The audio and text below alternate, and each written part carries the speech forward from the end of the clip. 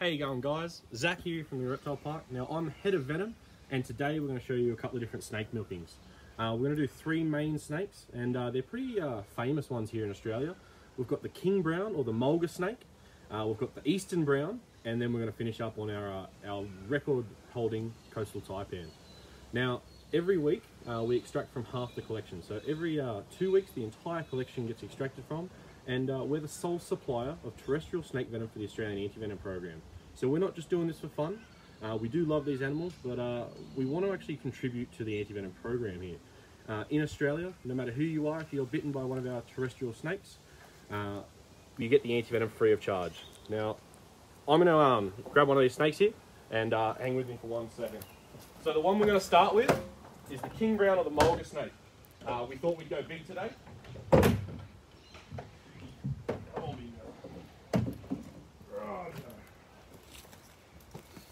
So this is one of our largest Australian venomous snakes.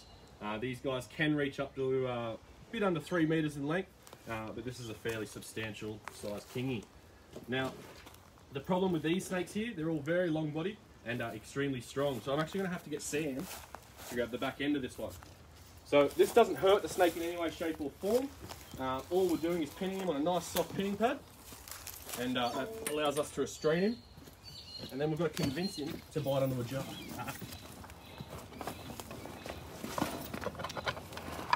yep. Cheeky little bugger. So you can see just how strong he is, pushing that pinner all the way around.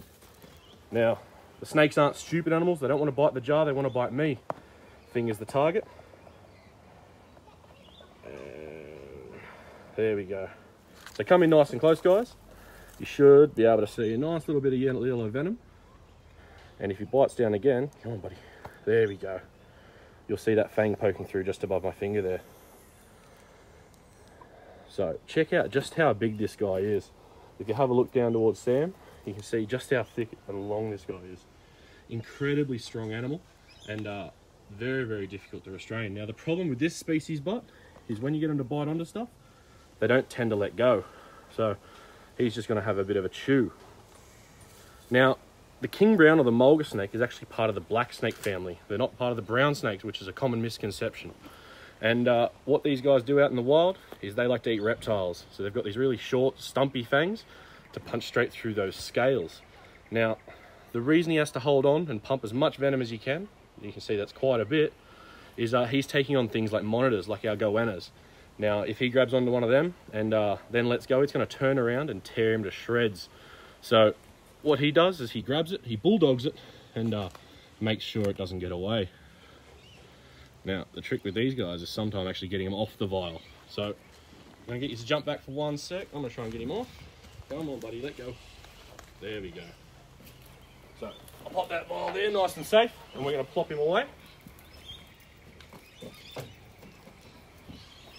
So Zac has to concentrate a lot today, so there might be times where we're just listening and, and watching. So that's your typical vial method. Now we get them to bite on the jar. The plastic on top is stretched to about the same tension or tightness as human skin. They punch through that thinking they've bitten me and they give a ton of venom. The next snake that we're going to milk is the Eastern Brown. Now we extract venom from them very differently. Give me one sec. What we use is the pipetting method. Now Eastern Browns have incredibly short fangs and uh, quite a small amount of venom you'll see. So we put that pipette over the tip of the fangs. I apologise about the shaking. As always, bit of nerves. Bit, of, bit adrenaline of adrenaline too, yeah. So we'll place the tip of the fang into the pipette. Then we should start to see a little bit of venom excreted. Uh, what I'll actually do is massage his venom glands. Again, this doesn't hurt him. Uh, we're trying to get that little bit more venom. So give me one second, I'm gonna grab him out. And uh, this one's particularly naughty, so you might have to bear with me. I'll be a bit quiet. It's incredible the, the concentration that it takes for this kind of stuff.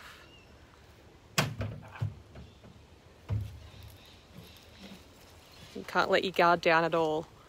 So this is our Eastern Brown. And uh, one of the distinguishing identification factors is those beautiful orange spots on his belly.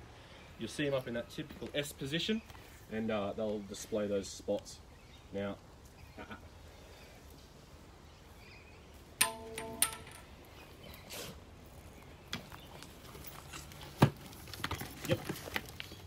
Right, yeah.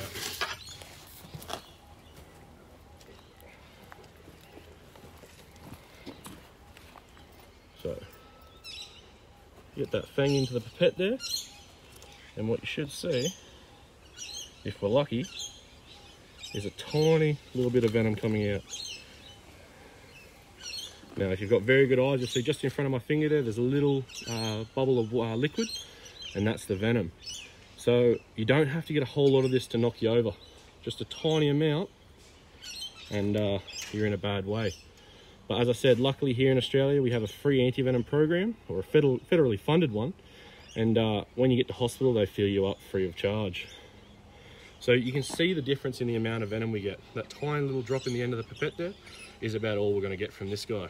So quite a, uh, a nerve-wracking experience after pipette these. As you can tell, your fingers are very, very close, uh, but this is the safest and most effective way for us to get the venom out.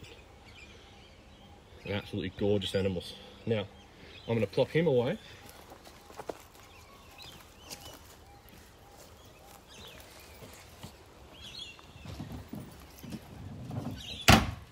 I'll get you to latch that one. Beautiful. Right, now the final snake. Uh, this one's name's Nervous Ned. He's actually our record holder. Now, uh, this particular animal gives a huge amount of venom. Now, the snakes here at the reptile park have been selectively bred to produce more venom than your average. Uh, this particular one can produce up to five times the wild equivalent. Uh, so an astonishing amount of venom and uh, a truly terrifying amount if it was to go wrong. So I will be a bit quieter with this one, guys. You'll have to bear with me, uh, but I promise you the results will be spectacular. Now uh, I'm going to grab him out.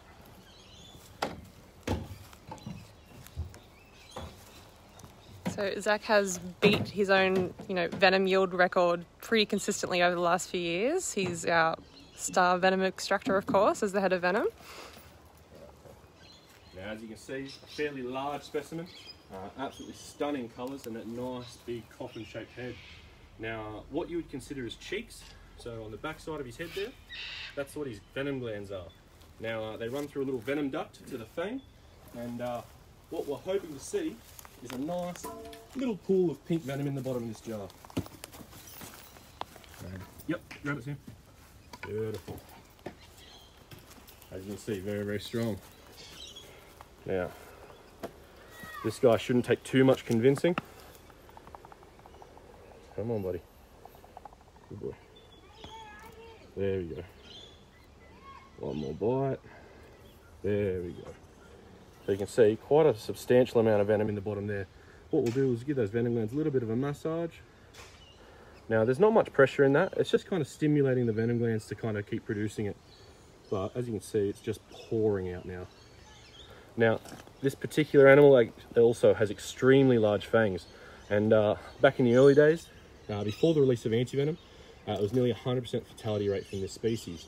Uh, since the release of this antivenom uh, and all of our antivenoms, we're very uh, lucky and we only have about one to three fatalities each year from venomous snakes. To put that in perspective, cows attribute to 12 deaths a year. Uh, now, the most important thing to do if you do see a snake is to leave it alone. Don't try and do this. Don't be like me and Sam, and uh, take care. Now, my hand's starting to cramp up, so I'm going to get you guys to jump back for a sec. I'm going to put him away, and then uh, we'll go through a little bit more.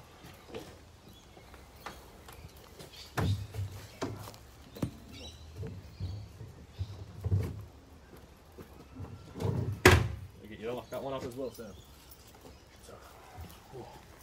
Sorry, guys. Nice work, Zac. That was incredible. Great Right. yield. yeah, that was pretty. Uh, that was a pretty spectacular yield. Now, that's not going to be the record, but it's going to be bloody close. As you can see, a huge amount. Now, let me grab the other one. As you can see, venom comes in various colours and uh, uh, basically uh, densities. Uh, the king brown one, quite thick, almost like a jelly, where the taipan, um, very liquid. So I'm going to pop them down as my hands are shaking pretty bad. But very, very simple, and we'll go through snake bite uh, first aid as it's one of the most important things here in Australia. Now, you'll hear a lot of things about cutting the bite site, trying to suck out the venom. That's no good. Don't even worry about trying that. All you need is one of these. It's an elasticized bandage. Uh, we use the ones called indicator bandages. So if you have a look at the rectangles, at the correct tension, they become squares. So you can't put these on incorrectly. Uh, one of these, along with uh, uh, immobilization, will uh, give you up to four times the amount of time you'd have without one. So very important. If you don't have a bandage, um, basically what you want to do is make one. Rip up your shirts, rip up your pants, uh, and get yourself to hospital. I'll get Sam, my, demo, uh, my volunteer, to come over here. We're going to say he's been bitten on the wrist. Now, the important thing to do is remove any jewellery, uh, watches, rings, because you're going to swell up. Anything like that can cut off circulation, so very important to remove the, uh, the jewellery. If you're wearing long sleeves like uh, Sam here, don't worry about getting rid of them or trying to cut them off. Go straight over the top. Get yourself the bandage. We're going to go twice around the bite site. One, two, making sure they stay nice and square. We're then going to go down to the end of the limb. This basically just immobilizes the limb and uh, stops you from wiggling your fingers. But you want to leave the tips of the fingers exposed so they can check for circulation.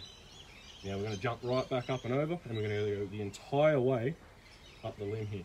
Now trying to keep those as square as possible. Now, like Sam with the long sleeve shirt, you're going to go straight over the top.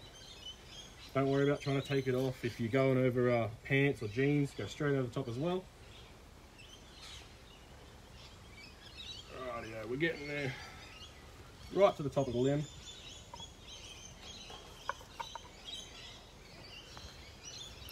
And then keep it nice and still. Now, you want to keep it nice and straight uh, along the side of your body or across. And uh, the less you move that limb, the longer you'll have. So call an ambulance, get yourself to hospital, and uh, they'll figure out what you've been bitten by. You don't need to take the snake in. You don't need photos of it.